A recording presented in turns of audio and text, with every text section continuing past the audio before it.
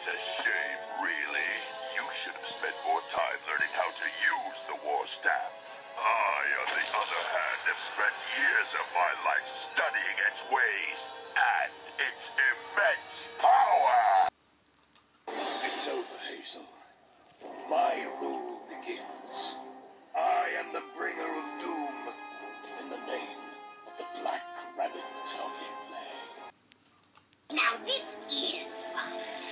snoozer and the loser.